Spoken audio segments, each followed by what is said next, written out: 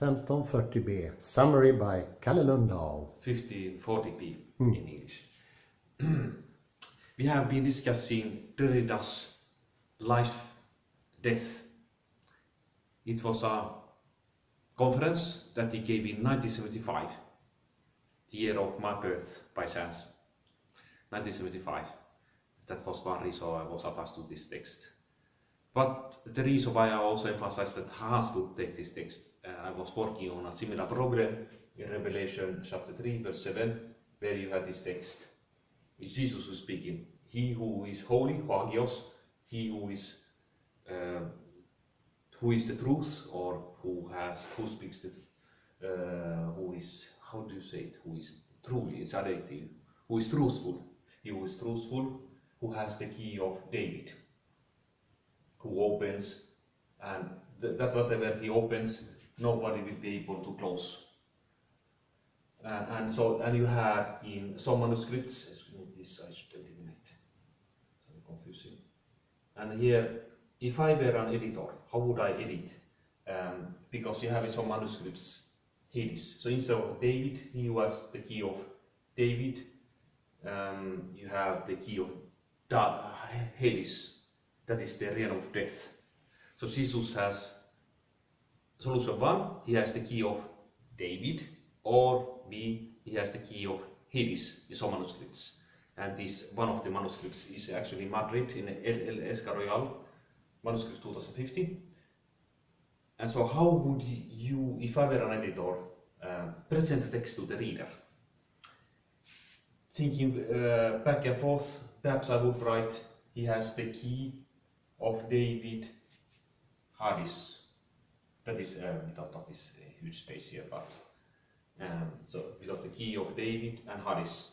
And this would, so to say, mimic the name of Derrida's conferences, life, death.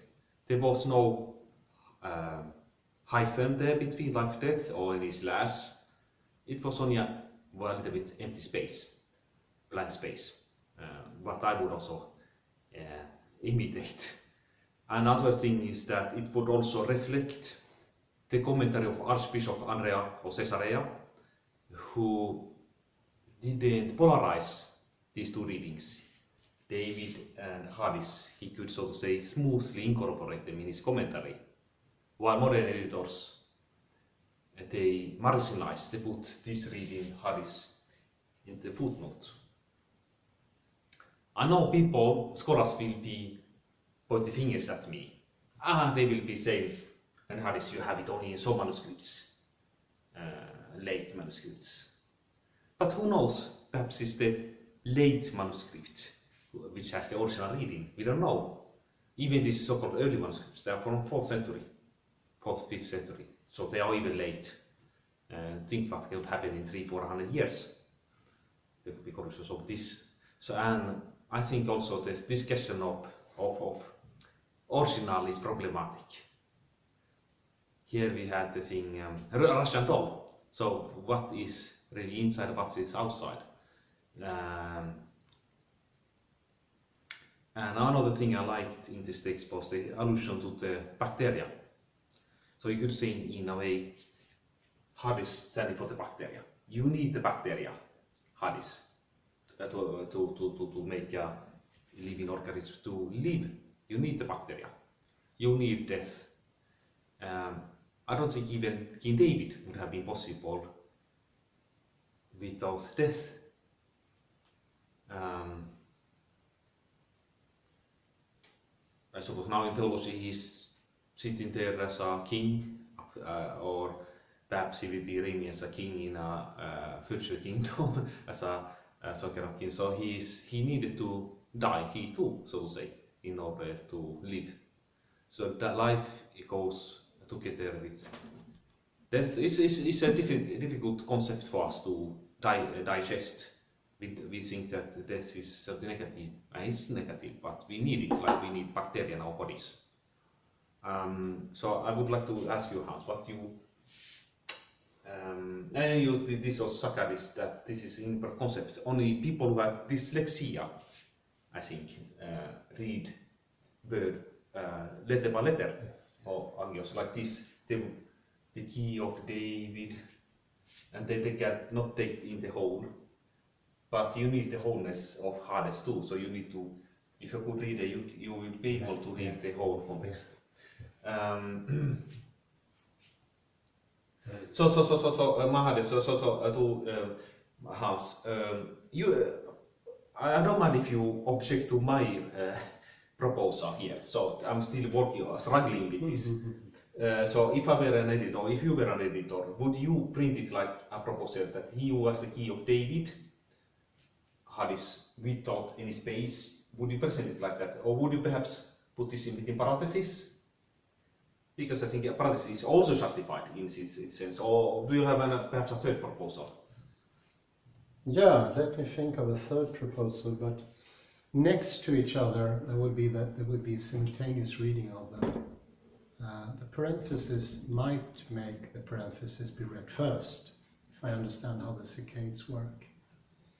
Uh, but both both are pretty good. And as you say, it could be a third solution as well. And I actually, for once, even though not having a shirt on me, I have a trump up my sleeve.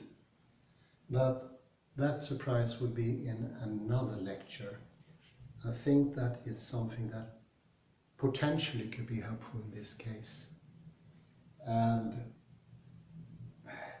Derrida is in itself a mysterious man. I like the positive connotation that Mystagogue could have, and he is a mystery within a mystery. And he's multi-layered like the Russian doll. You can have a different understanding of him and it goes deeper or as deep as the reading takes you, your reading. But there are some things, uh, I mentioned Arkady Plotnitsky the other day and I had a read of him, I think it was 1534. And he is one of these people who realized that Derrida is actually touching on the molecular structure of the world, so to speak, which is not molecular, it is quantum physical. It is connected to fields, and fields read everything simultaneously in a way, and then prepares an order. And that order is of immense importance. It's very close to the text has its flow. It tells something. And I think this is telling as well.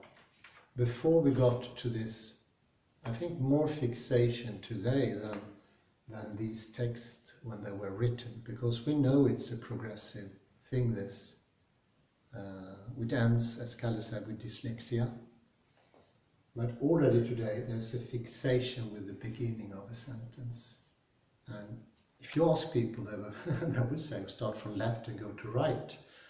Well, no, we know, we know that's not the case.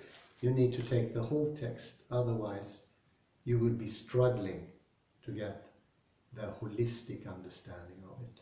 And I think that is one of the things that Derrida is pointing to as sort of the contradiction between teleology and mechanism disappears. Well, rather it doesn't, it's not that sharp anymore. It is not as punctual. It is not two pointy spears at each other. It is rather a fractality. You can think of the Norwegian coastline once more. Sorry to bring that up, but it's a very good thing by Terry Tarlov. This is happening in a reading as well. And also the lines are connected. We know that from the saccades. There's a reading that goes like this. Reading is incredibly much more different than we think. And we just started to sort of, just like when we started to understand Derrida, to look into this fantastic revelation, which is the text. Uh, think we end there with permission and uh, have a very pleasant afternoon out in the sunshine with you. Bye bye for now and